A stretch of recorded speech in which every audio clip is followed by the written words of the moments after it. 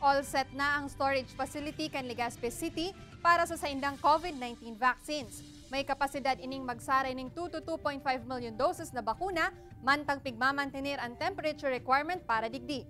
Uyaan sa kuyang report. Nakaset up na nin storage facility o refrigeration area kan syudad ni Legazpi para sa COVID-19 vaccine sa Barangay Bonot. Sa kadakulaan kan bodega, igwa ining kakayanan na magsaray nin 2 to 2.5 million doses kan bakuna. Ang setting po nito, ah, pwede nating ah, ma-adjust. Ah, nag-range po from 0 degrees Celsius, ah, pinakamalamig po, negative 25 degrees Celsius.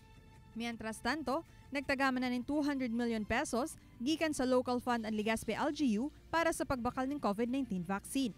Sa presente, dai pa nakakabakal nin bakuna ang Legazpi City LGU, alagad pinagmarhay na inuton ang paglalaagan kaini. Marurumduman na target kan gobyerno nasyonal na mabakunahan na ang mga Pilipino sa taong 2022. Ini si Rain Palino, Balitang Bicolandia.